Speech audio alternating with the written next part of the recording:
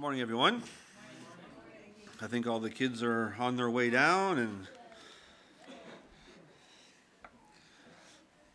it's nice to see when you have so many kids. Eh? When they leave for Sunday school or their classes, like half the congregation. You know, so it's the next generation being taught the Word of God and being taught the truth of God downstairs. And you know, when we're dead and gone, they'll be able to pick up the flag and keep going. My name is Doug Durrett. Uh, I'm an elder here at Living Hope Church. If you don't know me, uh, from time to time we get to speak. The elders of the church get to speak, and uh, we're going through a series today which is called Called to Be Free. And it's a study in the book of Galatians, and we've been there for the last several weeks. And when you look at Galatians, Galatians is a study of our freedom in Christ. And that's what we're going to be talking about today.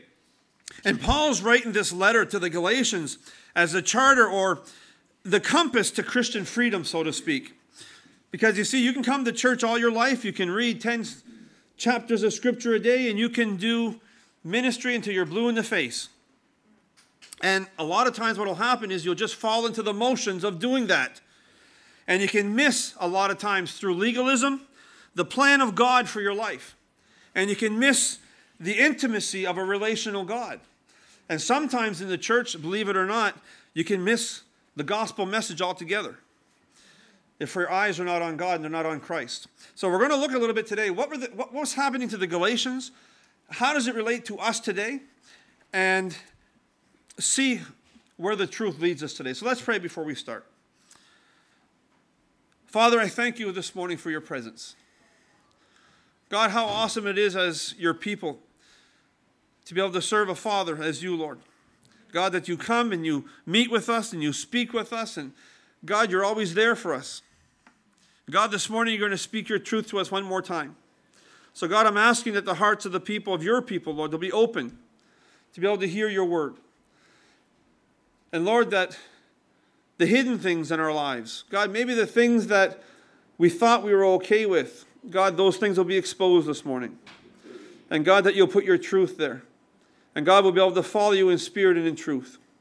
So, Father, this morning, help me to disappear, Lord. And Lord, I pray that you would take over this message. God is the gospel is always about its content, Lord. It's never about the messenger. So, Father, I pray, Lord, that you would open up our hearts to hear, our ears to hear, Lord. And we thank you for your word. And we, God, I just thank you. Thank you for your presence. We thank you that you're here with us. And we praise your name. We give glory to your name today. In Jesus' name, amen.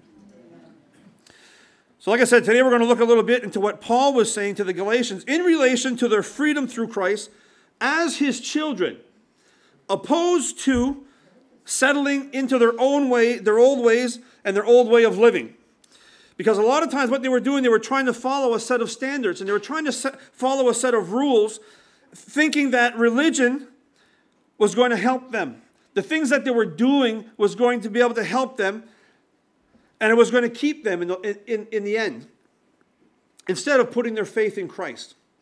So you see, the Galatian Christians, what was happening is, and I'll give you just a little recall here, it says they were, they were being intimidated. They were listening to the voices of false teachers in their day, telling them that what Paul taught them, that faith in Christ alone, it wasn't sufficient for salvation. That's what was being taught. And it doesn't matter where you turn today, it seems like those voices are kind of the same. You can turn on Christian television today and you'll see that they're, they're mixing like mixture with, with, with truth and, and, and half, half truth altogether, and they're putting it out to the people, and the people are just gobbling it up, thinking that, oh, this is the right way. And a lot of times, what will happen is you'll get caught up in that. If you don't know truly what the gospel is, if you don't truly know your word, you'll get caught up in those things, especially if your eyes are not set on Christ. So the false voices that Paul stood against were saying Christians have to follow the law of Moses in, di- in addition to their newfound faith in Christ. So there was this mixture that was trying to come in. And you know, when you look on TV also today, the highly ranked voices of primetime TV are pretty much saying the same thing. You know, they're saying things like, Jesus isn't the only way. There's many paths to heaven, and you hear it all the time. But the Bible is completely contrary. The Bible said there's no man that comes to the Father except through Jesus. There's no man that comes to him except for Jesus. Hallelujah. But because of the pressure because of intimidation and the fear. And, you know, the Galatians were falling back into this religion of ritualistic works. Just like many Christians are doing today, because you see, a lot of people don't want to be found going against the grain. A lot of people don't want to have people think differently of them, and they're scared of what people might think of them. So they would rather keep religion and to be a slave to that type of lifestyle rather than have Jesus set them free. And it makes no sense. But when you think back in your life, I've done it. And probably you've done it too. You see, Jesus said this in Matthew 22 that the entire law rests on two great commandments. It says, You should love the Lord your God with all of your heart and with all of your soul and with all of your mind. Jesus said, This is the great and the foremost commandment. And he said, The second one is just like it. it says, Love your neighbor as yourself. Now, here's a few questions for you this morning before we get into the actual message. Who can possibly claim even to have come close to keeping the first great commandment? Have you, from your earliest memory, always loved God completely? With all of your heart, with all of your soul, with all of your mind, all day, every day long? It said this, was me, this would mean that you would have to always obey him because the Bible says if you don't obey me, you don't love me. It would mean that He always has been the center of all of your waking thoughts. His will has been at the center of every decision that you've made. His glory has been your supreme desire in whatever you think and whatever you say and whatever you do. It says you begin every day by worshiping Him, you love His word more than food, and you meditate on it day and night. Who in their right mind here can say, You just described me? I don't think so. I don't think so. I was waiting for somebody to stand up. I know if Alex was here, he'd probably be like, me, me, me. I wish he was going to hear because I was going to say, Alex, it says, who in the right mind? I love that, man. You know, when we look at the second great commandment, we don't do any better, do we? Love our neighbor as ourselves. You know, have we always, you know, if we look from childhood, have we always gladly shared our toys as toddlers? Those that have toddlers here, you know, right away they start to mine, mine, mine. In school, did you always put others ahead of yourself? Have you always put your mate's needs ahead of your own? have you always treated your children with love and kindness, even when they're disobedient? At work, did you rejoice when your co-workers got the promotion that you thought that maybe you deserved? Ooh. Again, who in their right mind can say, this guy? We can't. And it's only two commandments, folks. That's only two commandments out of ten. Not to mention, go read the first five books of the Bible. God set up a law in there for every aspect of people's lives, every aspect. And the Galatians wanted to go back to following this. And Paul was saying, it's, it's, you're going to be a slave. You're going to be a slave. Why would you want to live as a slave? And Paul fought for the Galatians and he told them, folks, God gave the law to reveal his standards of absolute righteousness, to convict us of our true guilt before him, so that we would see our need for the gospel and a Savior. That's why he put the law there in front of them. And Paul was trying to show the Galatians don't you understand? You're falling back into a place where the law that you want to keep, it condemns you. That's all it does is it condemns you. You can't be a good person because in order to be declared good, you'd have to never mess up ever. Ever. From, from childbirth until the day that God calls you home, you would have had to have followed everything to a T. But Paul knew that that life it didn't produce anything good. You know what? The only thing that it produced was a cycle of we try really hard, we fail really well, and then all this guilt comes in, and then we're left empty. That type of lifestyle without Christ, that's what it does. It's just that continual circle. Instead of, you know, Paul was saying, instead of standing strong on the pure gospel, allowing Christ to rule in your lives, and let Christ move you from every aspect of your life into freedom. But the Galatians, like us at times, what happens is they go after other sources of freedom. Or what they think or what we think freedom looks like. And a lot of times it's only to our detriment because, you know, adding anything, folks, anything to the gospel produces chains and bondage. You want to know why? Because God doesn't need any help being God. He doesn't need my help and he doesn't need your help. He's well capable of, of moving us into freedom. You know, but a lot of times we think, oh, let's help God a little bit and we'll go do our own thing. And this is what Paul was up against. So even though we profess Jesus, how many times can you relate that fear, intimidation, caused you maybe to pull back from the plan of God. And I know there's been lots of times in my life that that's happened because of fear and intimidation. God had a plan, God showed me what to do, but because of what people were saying or because, you know, situations, you just feel the pressure, you pull back from what God wanted to do. So Paul writes to the Galatians and he calling them back to the pure gospel. And the gospel that Paul preached was faith alone in Christ. Faith alone. Nothing else, nothing added, no works, that's what leads to justification. And today we're in part six, six and it's called God's adoption. So, God's adoption.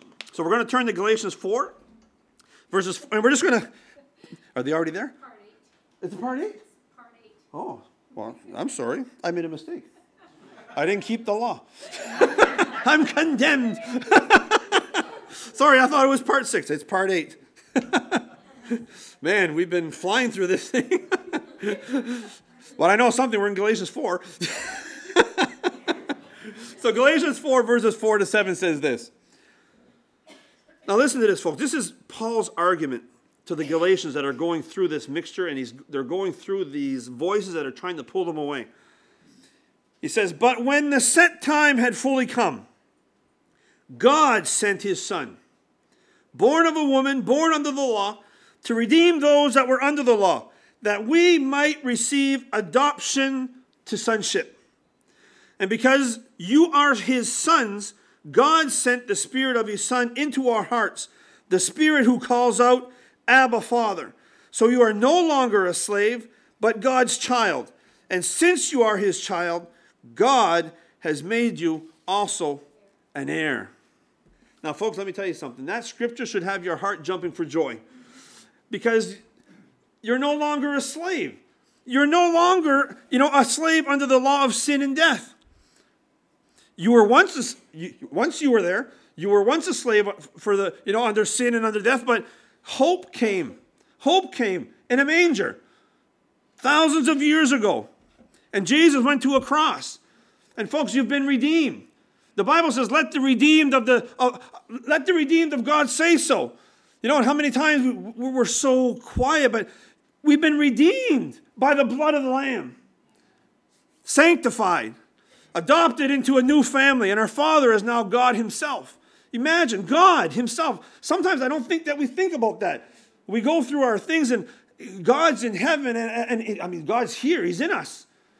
And we think that we're alone. But when you read through scripture and you start to understand, my goodness, what the deposit that God has put inside of me, I have everything that I need to succeed and to do this life. You know, when I was a young, I used to watch Ben Hur. who knows who Ben Hur is? Does everybody know who? Okay, if you don't know who Ben Hur is, listen. It was back in the Roman times, you know, with the swords and the spears and the chariots and the horses, that type of program, all right? Now that you know my age. yeah. So in this one episode, Ben Hur, he's a Jew, and he's imprisoned on this Roman ship because that's where they put you. Anytime you did something wrong, they put you in the bottom of the ship. They didn't care if you died, got hit by a cannonball, who cares? They just put you there. That's your job. You're a, you're a slave. And the ship is in a battle and it sinks. And Ben Hur escapes, of course, because he's the main character. He always escapes. And he saves the life, the life of the Roman commander, whose name is Arrius. And now Arrius' only son is on the ship also, but in battle he dies. So Arrius ultimately adopts Ben Hur as his son.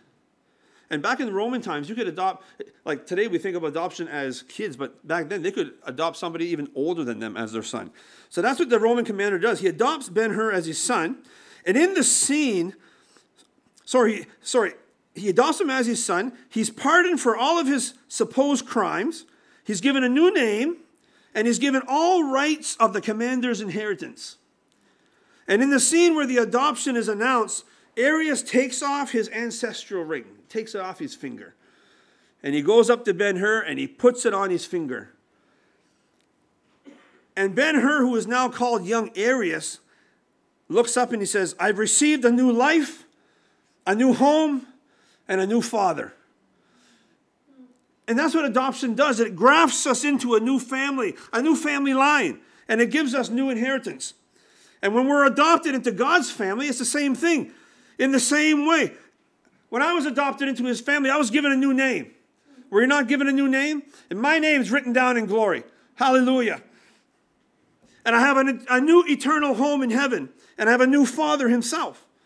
And the Bible says we become co heirs with Christ, sharing in his glory and supporting each other as the body of Christ. And Paul tells the Galatians through faith in Christ, you've been justified. And justification has declared you righteous in the sight of God. It's removed your condemnation. It's removed your guilt. It's removed the penalty of sin. And it's grafted you into God's family. And only by God's righteous act of His grace did He do that. And He's declared you and I righteous through faith in Christ. And Paul asked the question to them why? Why would you want to move away from that? And we have to ask ourselves that today. Why, when I know all of this, why would I want to move away from what God has given me as an inheritance of what I have through Him? Why do I want to go back to my old ways?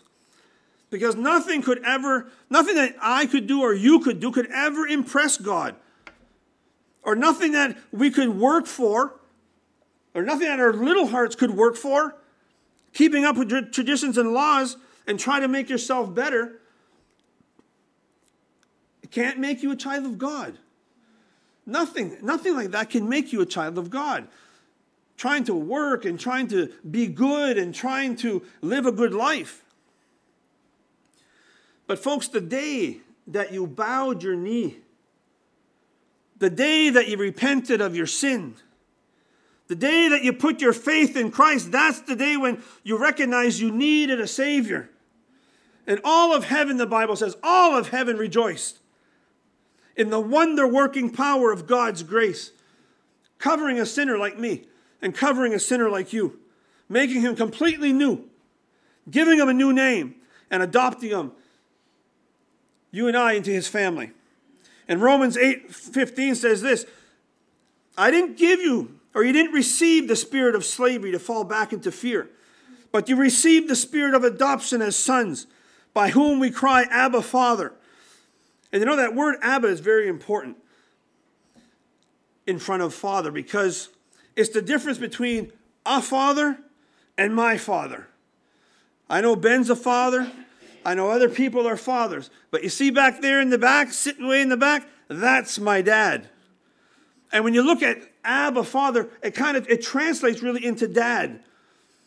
And when I look at my dad, I'm in a relation of personal intimacy with my dad. There's a connection there between father and child. And when I put my faith in Christ to be saved, it's the exact same thing. God signed me and He sealed me with the Holy Spirit. And He put His Spirit in me. And Abba is it's the legal means for me to address God in a relational, personal intimacy as my Father. Jesus, that's how He it's how He addressed His Father. Paul, that's how he addressed the Father. And now that we're grafted into this new family, into the, God has adopted us into that family. We have the same Father. And if we have the same Father, guess what? What's His? It's ours. It's ours. You know, so when you're going through your stuff and you, you're having some hard times, my goodness, how do we not look up? How do we not say, I'm going to see my father. Because I know my earthly father, if I'm having any problems or whatever I'm having, I can go see him. I can talk things out. If I need something, he's going to help me. Why do we think any different than a heavenly father who has all things? And this is what Paul was trying to help the Galatians understand. Verse 9 says, But now that you know God, or rather you're known by God, how is it that you're turning back to those weak and miserable forces? Why are you turning back to your old ways? Why would you want to leave God and try to follow something and, and, and work your way to salvation? It never works, it doesn't work. Paul asked, Do you wish to be enslaved by them all over again? And Paul knew that there was no life in it. The only thing the law and legalism can do is make you a slave to it. It steals your joy of salvation. It makes people feel guilty instead of love because it stresses performance over relationship. And I know a lot of people that want nothing to do with God, but they're striving to be good people. They're striving to live a good life. But in the end of it all, if we don't have Christ He's the only way. Ephesians 1 4 to 5 says, For he chose us, he chose us in him before the creation of the world to be holy and blameless in his sight. And in love, he says, he predestined us for adoption to sonship through Jesus Christ in accordance with his pleasure and his will. It's amazing thought, folks, because God's love for you, even when you didn't want anything to do with him and you were a sinner, it compelled him to come and to rescue you and to rescue me. And just like Paul, he was calling the Galatians back to faith in Christ and the finished work on the cross. And God is also calling his church back today. Why do you think he has us in Galatians? Why do you think he's bringing all the messages? Come back. Get out of the mixture. Stay away from the influential voices of darkness that tries to change the gospel's truth into something more palatable, something more easy to accept. And it has a message, folks. The, folk, the, the message in there when you really listen to a lot of those things on TV and you don't watch what you're reading and different things. The message is, I can somehow, in my own ability, add to the finished work of the cross. That's the message. I can somehow help God help me be saved. Help me. You know, it's impossible. You can't. We have to clear this up in our minds now. It's Jesus crucified for the sins of men. It's Jesus crucified for the pardon of my sin. And it's Jesus crucified for my freedom. Plain and simple. Only the work of Jesus makes me right in the sight of God. Nothing but God's grace. Nothing. His grace and His grace alone. And Paul passionately, he tells, you know, the people, put your faith in Christ. He'll bring you to the proper relationship and right standing with God. And he'll make you a son or a daughter of God. Anything outside of that, Paul said, is condemned. It'll never work. And in the first part of Galatians, you see it, Paul says, even if we or an angel from heaven should preach another gospel other than the, what, what we're preaching right now, the, the, the pure gospel, it's condemned. It says, let them be under a curse. Because it's the pure gospel of Christ that will make you free. It needs nothing to be added, nothing. So when you get down to it, what does it mean to be adopted into God's family? Personally, you know, I was thinking about this and I said, you know, God is like, to me, it means enjoying an unconditional love that's forever. An unconditional love. You know, because as a Christian, sometimes we can we can still take on that mindset of someone who thinks I'm accepted into God's family as long as I don't mess up. You know, we can have that mindset. Oh, I was going good, I, I messed up. You know, I gotta. And it's like we have this system where, okay, we, we walk and then we mess up. Okay, well, like apparently we have to start at the beginning over here, and then we'll try to get some points. You know, but our minding, you know, of God and His love and His compassion for His children. I don't even treat my own children like that. You know, my, my kids mess up all the time. But I love them. I mean, to the ends of the earth, I love them. And I'll do whatever I can to help them and, and, and seek God for them and give them wisdom and talk with them and do whatever I have to do. So Paul's minding is kind of like, guys, why do you think of God in another form? Why do you want to leave and go back to those, those, those ritualistic religion that brings no peace and brings no freedom?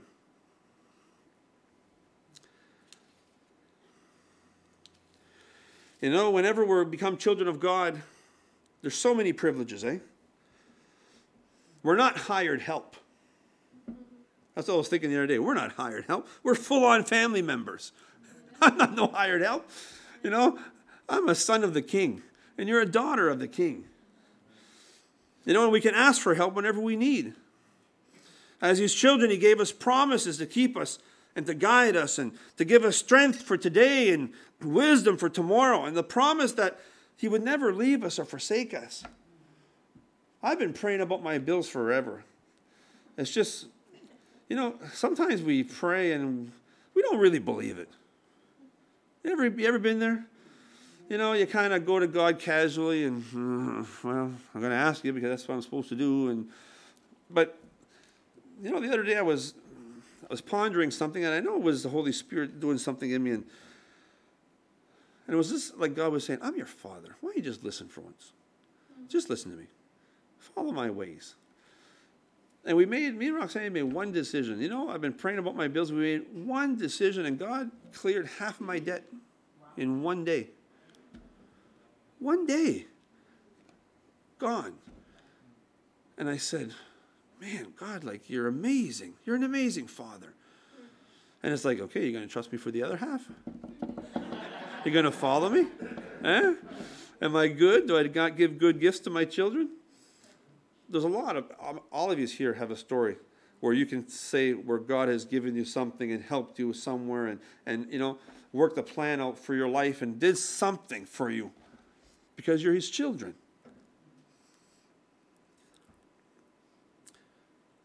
And folks, adoption is the heart of the gospel. It's all about the relationship that God wants to have with us. Because your security is not dependent on anything else other than God's everlasting his unconditional love that he has for you as his children.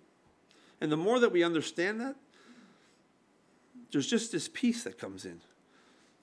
We don't worry because we have a heavenly Father that sees us, knows all things, and wants to help. Matter of fact, Hebrews tells us in Hebrews 4, it says, Let us approach the God's throne of grace with confidence, so that we may receive mercy to find grace to help us in our time of need. Max Lucado says this If anybody understands God's favor for his children, it's someone who's rescued an orphan from despair. He says, For that is what God has done for us. God has adopted you, He sought you, He found you, He signed the papers, and He took you home. And now you're in a new family. What an amazing God. What an amazing God. You know, that He would care so much for you and me. Sometimes I just sit and ponder that. What an amazing God. Lord, you, you're amazing. You care so much about your children. And that He would lay down His life to make a way to spend eternity with me. Sometimes I don't even like myself. you ever get to that point? I don't even like myself. But you know what? God said, No, I made a way. I sent my son. I went, Jesus went to the cross and died because I want to walk and talk with Pascal. I want to talk with Roger, and I want to talk with Mark, and I want to talk. Oh, Tyler's waving his hand. I want to talk with God. There you go. As his sons. And under so many privileges, let me go through a few privileges, but the, one of the privileges, we're able to talk to God and relate to Him as a good and loving Father. Psalms 103 says, As a father has compassion on his children, so the Lord has compassion on those who fear Him. I love when you get up in the morning, just talk to God. When you're going through the day, you talk to God. When something comes up, you talk to God. You have a father who cares and who has compassion. Another one is God takes care of our needs. My goodness, I could stand here for months and months and months on end. God takes care of his children. God helps. He says you don't have to worry about these things. Don't worry about what you're going to eat and what you're going to wear and don't worry about your needs. It says, Seek the kingdom of God above all else and live righteously, and He's going to give you everything you need. That's in Matthew 6. God gives us many good gifts, doesn't He? Gives us gifts of wisdom and understanding and counsel and knowledge. All of those things that without Him, where would we be without God giving us these things? The Holy Spirit leads us and He guides us. Oh my goodness. We have the Holy Spirit of the living God. We have a counselor. We have somebody to lead us to truth every single day that we walk. And He gives us each other. Isn't that amazing? You know, I was thinking the other day when I was making this message, I was like, when I was younger, my brother moved away. And when we were growing up, we were very knit and very close. And I only had one brother. And when he moved away, like I said, around 15 years ago or so, it tore my heart because it was like a piece of me was like leaving. But then God saves me and He brings me here. I've got more brothers, not going to say that I need, but I've got a lot of brothers here. you know, God set me in a family with people with interests like I have interests and even other interests that I can learn from and I can have, you know, time with and fellowship with. And I always wanted to have a sister. I never had a sister. I didn't know what it was like to tease a sister and to play jokes on. But God says, I'll give you a whole bunch. I'll give you a whole bunch of sisters. You know, and He placed us here together to have brothers and sisters and be able to walk together. And let me close with this because I'm a child of God. Now, how do I respond being a child of God? Well, Ephesians 5 1 says this it says, Therefore, be imitators of God as beloved children. It says, We're to imitate our Father in heaven. This is how we bring honor to Him, and this is how we show Him our love. We're His children, we're His heirs, we're His ambassadors. So, you know what? Next time that the voices try to come into your mind and try to discourage you, try to intimidate you into thinking that you're nothing, and that you have to do more in order to please God, or you have to do something, you know, like, like these voices were raising up with the Galatians, you have to do more than just put your faith in Christ. Don't move back into your old ways like the Galatians were doing. Stand on the pure gospel. Stand on what you've been hearing from this pulpit for years. It's pure. Trust me, from a guy who went through the church, living as, as, as a young fellow all the way through the church, it's pure. It's not about the messenger, it's, it's pure. The gospel that's coming is pure. That you've been redeemed, you've been purchased by the blood of the Lamb. Through Christ, you've got new life, you've got a new home, you've got a new relationship, you've got new identity, and you got a new family. And you remind those voices listen, I am a chosen child of God. Amen. I am a chosen child of God, co heirs with Christ and my Father. My Father loves me. If you can just get that into your mind, my Father loves me. There's nothing that's going to happen into your life where you should feel like, oh, I'm done for. Because you can come to your Father. Anything happens in my life, like I said, in, in, in a regular relationship with my earthly father, I can go to him. I already know He's going to forgive me. I already know He's going to help me. How much more your Heavenly Father? You know, we sing that little chorus sometimes. I'm so glad that the Lord saved me. I was thinking, I was singing that this morning when I was getting ready for church. I'm so glad that the Lord saved me. If it had not been for Jesus, where would I be? I'm so glad that the Lord saved me. Aren't you glad that Jesus came? Aren't you glad that you have a father who loves you? You've been grafted into a new line. You have a new inheritance. You have a new home. You have a new future. You have a new family. We are very privileged people. So if you don't know Christ, like Paul was, I would encourage you. I would just encourage you to call out to God. Ask Him, say, Lord, I'm seeing my recognition that I need a Savior I, I, and I need to be redeemed. If I keep living the way that I am, there's no hope in it. The end, the Bible says, is death and destruction. But yet, when we come to Christ, He puts this new hope in us because He's the hope. And Jesus said, I am the way, I am the truth, and I'm the life. And He says, No man comes to the Father except through me. You're going to hear a lot of voices out there. You're going to hear a lot of things. You're going to see a lot of things. The world's full of it now. It's really uh, getting bad. I know it's always been bad, but it's the more that we go and the more that we walk, you're going to see that we need each other. We need, God put us in a family for a reason so that we can sharpen each other. We can help each other, you know, walk and speak into each other's lives. And He's there always, always, because He cares. And I know some people, sometimes, you know, you think of fathers and maybe you didn't have a father. Maybe a father left or father didn't treat you very nice. But God's not like that. God made you with a purpose and a plan. That's what Jeremiah says, says, I know the plans I have for you. A plan to prosper you and to give you a hope and to give you a future. And that future is with him. That future is one day we're all going to rejoice in the kingdom of heaven together and say, Father, and you'll be able to talk with him and walk with him. Unbelievable. Unbelievable. Let's pray.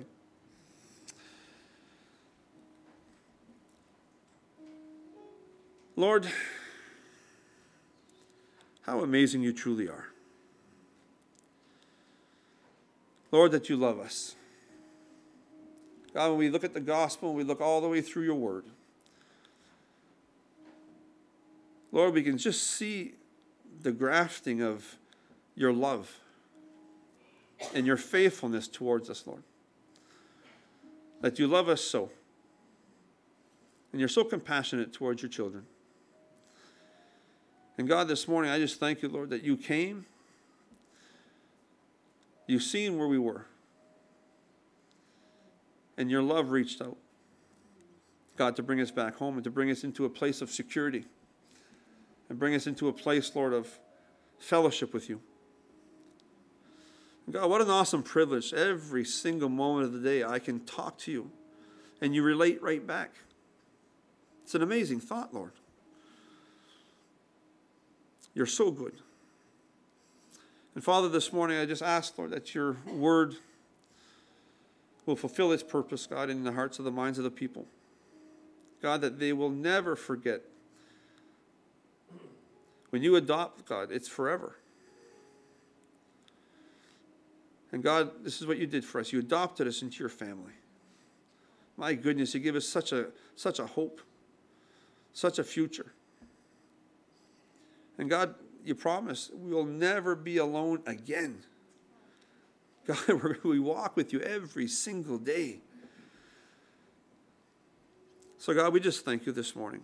God, you came and you met us in, in worship today. God, your presence was here. My goodness, Lord. What a privileged people, God, that you come and you visit us. We praise your name today, God. We thank you for your goodness and for your faithfulness and for your mercy and for your grace. So, Lord, I pray that you would go with us today, that you would cover us, Lord, you would help us. Help us, God, to realize that you're always there. And that you will steer us in the way that we're ought to go. God, I thank you for your discipline. Lord, you discipline us because you love us. We heard it this morning. We don't have to fret when you do those things, God, because it's because you love us. You want to set us on the path where we're going to succeed. And we're going to be ambassadors for you and your word and the gospel to the people that are around us. So, Lord, we love you this morning. Thank you for your word. In Jesus' name, amen.